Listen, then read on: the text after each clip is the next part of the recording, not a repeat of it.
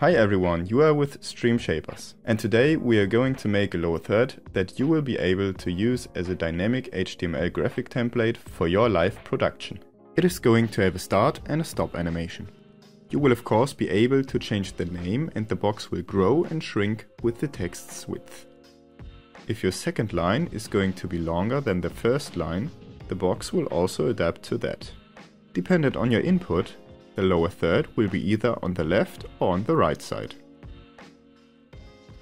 Let's get started and open After Effects. I am currently using version 24.1.0. Create a new composition, let's just stick with Full HD and 25 frames per second is okay for me. Call it lower third and I like to use a middle gray background for my composition. I will set the preview size to fit the window size. Create an empty text layer by double-clicking the text tool in your toolbar. Write name surname as a placeholder. I will use Open Sans Semibold, have the text size at 60 px, use metric for our kerning and make the color my currently favorite gray. Place the text somewhere in the lower left corner. Select the layer and hit enter to change its name call the layer underscore first line. Especially the underscore at the beginning is important for our naming convention. Duplicate the layer, drag it under the first one and type in function for now. Select the text and change its size to 40px. Let's use Open Sans regular for that. Move it somewhere under the first line and rename it to underscore second line. Again, the underscore at the beginning as this shall be a dynamic text layer. Create a rounded rectangle. The tool might be hidden under the normal rectangle in your toolbar. Make it a bit larger than your text for now. Rename the layer to background and drag it under the text layers. Yeah. Let's have its size be dependent on the text size. For that, under rectangle, rectangle path, size. Hold Alt and click on the stopwatch. This is the size of the rectangle, not the size of the layer. We will need the width of the first text as well as the width of the second text, so we pick whip them into our expression. With sourceRectAtTime, we can get its current state at this specific time in the timeline create a variable called longline that will store the name of our longer line. By default, our first line shall be defined as the longer line. Then we compare those two lines with the smaller than operator, specifically the widths of them, so add .width to those.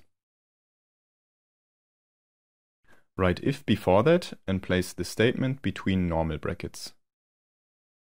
After the statement, open curly brackets and type in what should happen if the statement is true.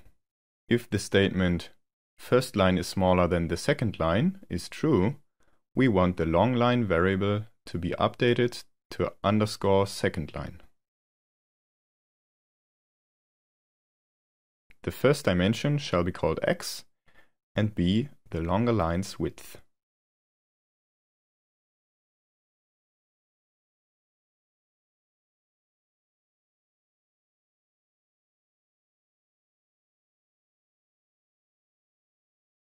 The second dimension shall be whatever we set it to within its standard input field that we can simply pick whip. Place x and y into an array. Let's see if it works. Yes, it does. But let's adjust its position to match and adjust the height a little bit. If we now make the text longer, it gets out of the boundaries as you can see. Also, the longer line is correctly evaluated. We will also update its position based on the text's width, but first add some padding to its size. Let's use padding of 60 and also another padding with 100.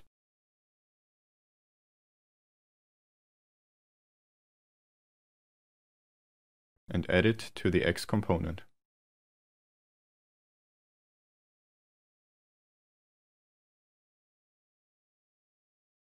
Now the lines have some room to breathe.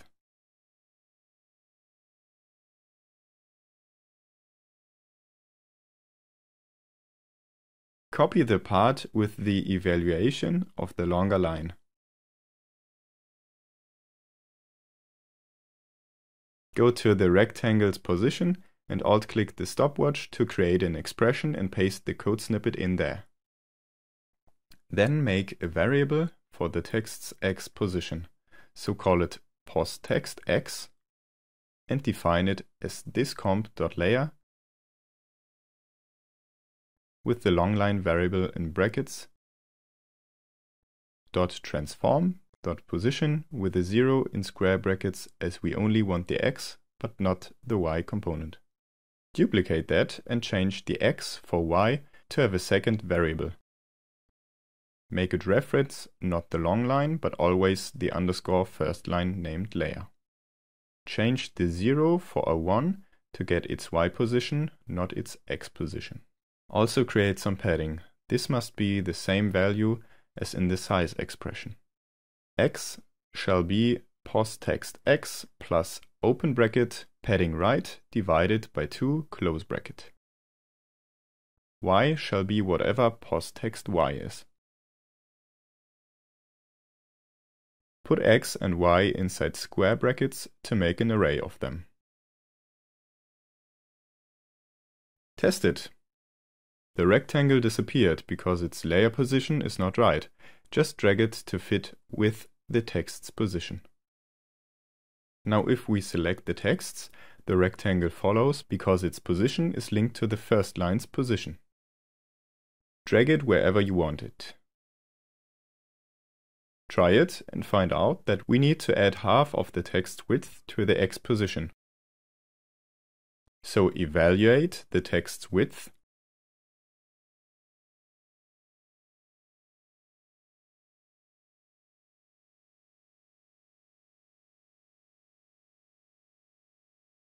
and add it to x and have only the width divided by 2.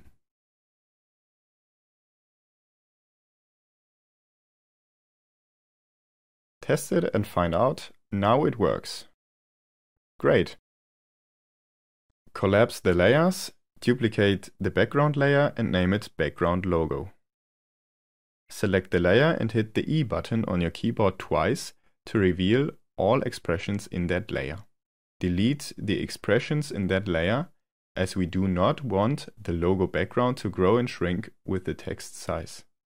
Position it and give it a nice color. I will use the hex code E4DFDA for my logo background.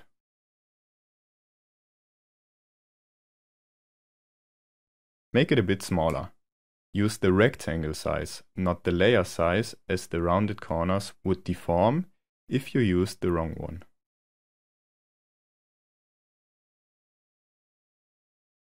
Position it also together with the other components.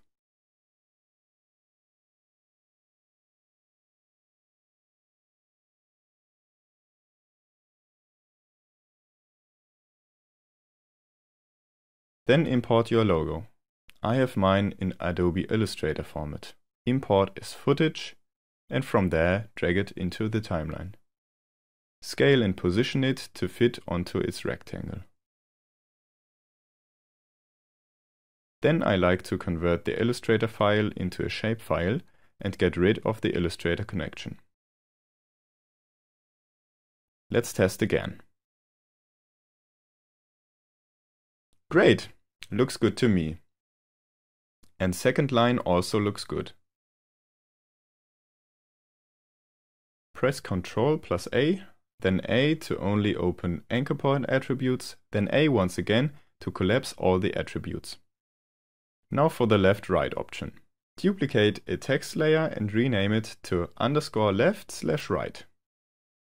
Remember, the underscore at the beginning is to make the layer dynamic later. Drag that layer somewhere else to not get confused. Doesn't matter where, because we will hide it later anyways. What we want to do later is, when the text says 0, we want our lower third on the left hand side. If it's a 1, the lower third shall be on the right hand side. But first add some animation. While we're on it, Let's make our dynamic text layers yellow for better visibility. Then select all layers, except for the logo background in the left-right switcher text layer. Parent those selected to the logo background shape layer.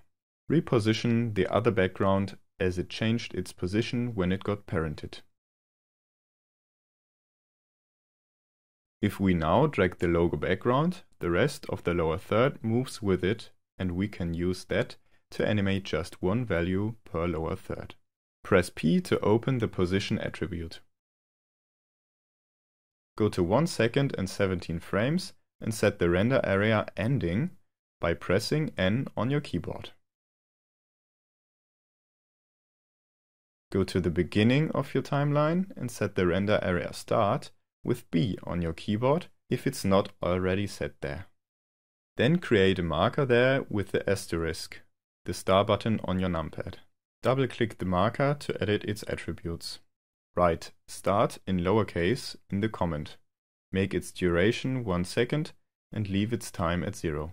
Hit OK, then move your playhead to 1 second and create another marker by pressing the small star on your number pad. Double-click it Set its duration to 17 frames and write stop in lowercase into the comment section. Now back to animation. Position the logo background layer properly and hit the stopwatch to add a keyframe. Move it one frame back. That's the end of our in animation. Set a new keyframe at 1 second. This will be the beginning of our stop animation. Go to the last frame and change the position so that the whole lower third is outside the visible area. Keep in mind that our lower third dynamically changes its size with the amount of text. Copy that last keyframe to the very beginning to complete the start animation. Now just easy ease the keyframe's interpolation by right-click, Keyframe Assistant and selecting Easy Ease. But Maybe not the first and last one. You can make them linear again by right-clicking those and select Keyframe Interpolation Linear. Now that's better. You could also edit their curves, but I won't do that now.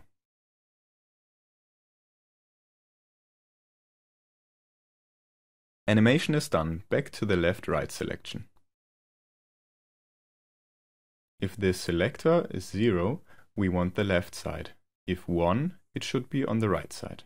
For that, let's add an expression to the opacity of our background. Select the layer and hit T as in transparency to open the opacity. Then alt-click the stopwatch. Define the variable side input as the source text of the underscore left right layer by pick whipping that attribute. Then make an if statement that checks if the side input is 0.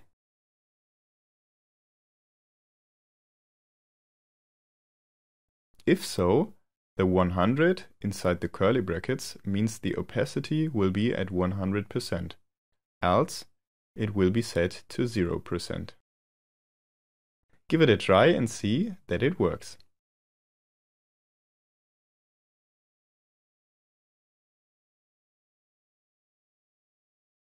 Then copy that expression to the others opacity attributes that should be dependent on the selector.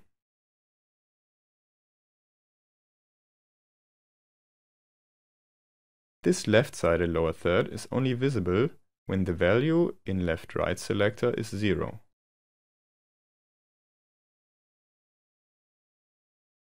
I'll add some L prefixes to my layer names, except for the dynamic layers of course.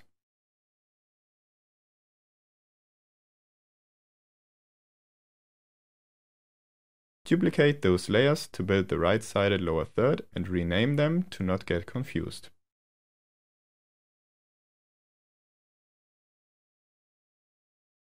We can also add the prefix to those text layers, as they will just copy the source text from the left-sided lower third.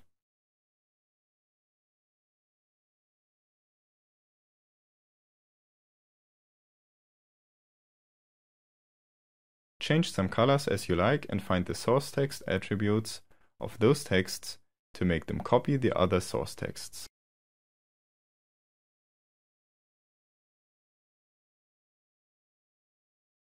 Just add an expression and pick whip the original source texts.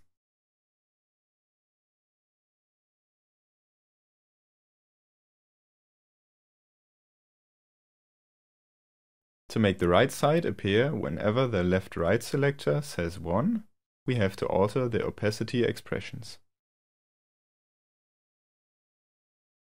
Change the 0 for 100 and where 100 was should now be 0.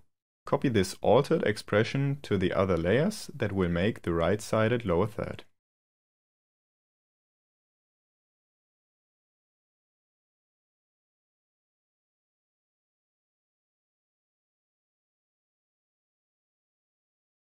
Select the middle two keyframes of the right-sided logo background and drag that layer to the right side to update these keyframes. Delete those keyframes with the beginning and ending position and place new ones instead.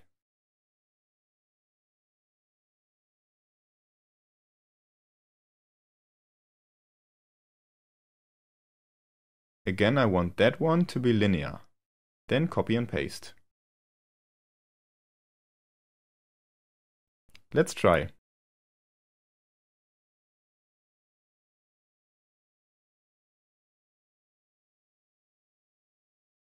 Yep, works.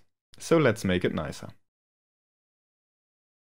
Change the texts from left aligned to right aligned and their position to fit.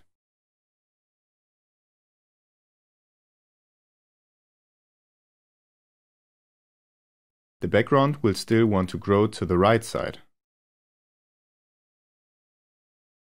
Go into the expression for the rectangle's position and change it to not add half of the text width, but subtract it.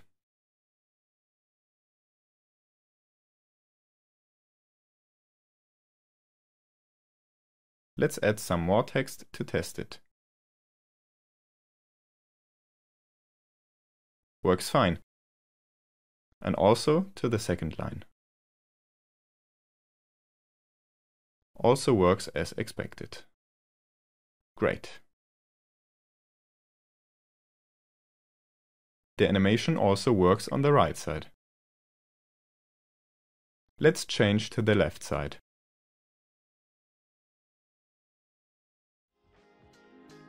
Test it with some text and see we are finished with our dynamic double-sided automatic box resize to line lower third. Don't forget to hide the text layers you don't want to see or move them anywhere invisible.